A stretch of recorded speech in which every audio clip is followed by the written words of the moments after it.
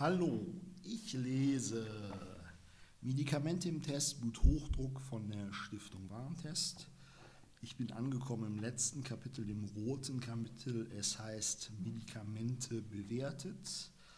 Bei Medikamente von A bis Z werden rezeptpflichtige Medikamente in alphabetischer Reihenfolge aufgeführt und danach geht es weiter nach Wirkstoffgruppen. Und ich bin angekommen bei Beta-Blocker. Und es ging um Beta-Blocker, Beta-Blocker und ein Diuretikum, Beta-Blocker und ein Diuretikum und ein gefäßerweiterndes Mittel. Und das Ganze schließt, bevor es mit den gefäßerweiternden Mitteln weitergeht, mit Beta-Blocker plus Calcium-Antagonist.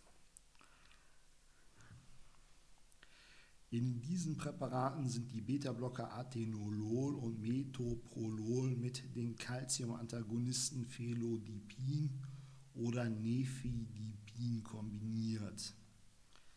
Im Einzelnen Atenolol plus Nefidipin, Metoprolol plus Felodipin, Metoprolol plus Nifedipin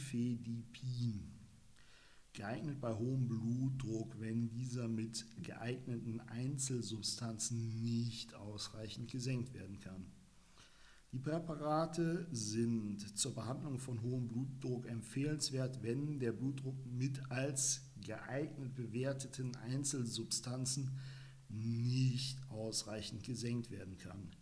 Herzrasen kommt bei diesen Kombinationspräparaten seltener vor als bei einer alleinigen Behandlung mit Calcium-Antagonisten und Nifedipin-Typ. Beta-Blocker bremsen den vorkommenden Anstieg der Herzfrequenz. Bei den Mitteln mit Nifedipin handelt es sich um retardierte Präparate mit verzögerter Wirkstofffreisetzung. Weitere wichtige Hinweise zur Anwendung, zu unerwünschten Wirkungen, zur Anwendung bei Kindern und Jugendlichen in der Schwangerschaft und Stillzeit sowie bei älteren Menschen finden Sie unter Beta-Blocker und unter Calcium-Antagonisten. Siehe Seiten 120 und 129. Es geht weiter mit gefäßerweiternden Mitteln.